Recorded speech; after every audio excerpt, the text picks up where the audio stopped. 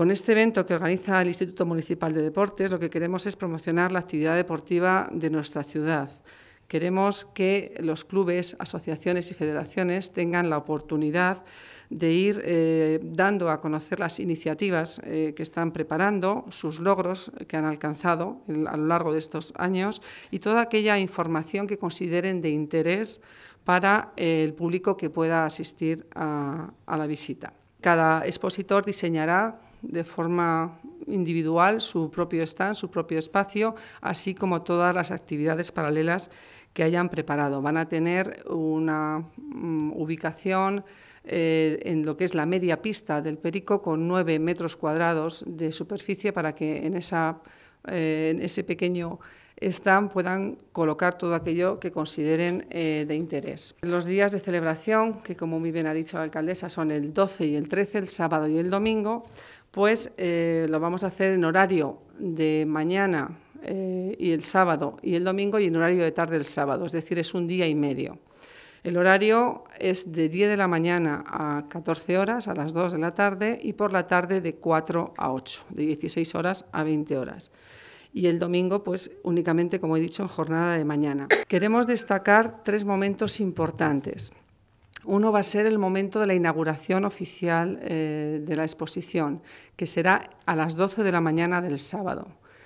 En ese momento pues, vamos a acudir eh, todas las autoridades de la Corporación Municipal, por supuesto la alcaldesa Clara Luquero y algún deportista que queremos ahí traer y que va a ser de momento sorpresa. Estamos barajando varias posibilidades, va a ser sorpresa. Tuvimos un intento con Vicente del Bosque, nos había hecho mucha ilusión que hubiera podido acudir, pero bueno, por motivos personales, pues nos ha dicho que en otras ocasiones, quizás en otras ediciones, pero que en esta ocasión, eh, por el fin de semana que tenía comprometido, pues no le resultaba posible.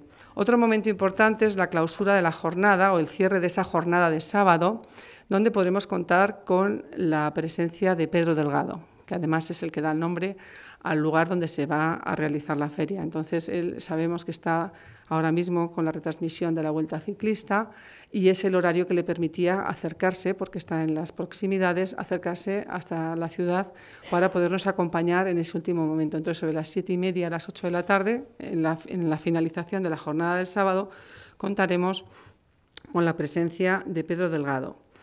Y ya para el domingo, en el momento de la clausura, hacia la una y media, a las dos, contaremos con deportistas segovianos, que tenemos muchos y muy buenos. Entonces eh, vamos a ponernos en contacto con todos ellos y según sus calendarios y según sus actividades, pues acudirán en su mayor parte.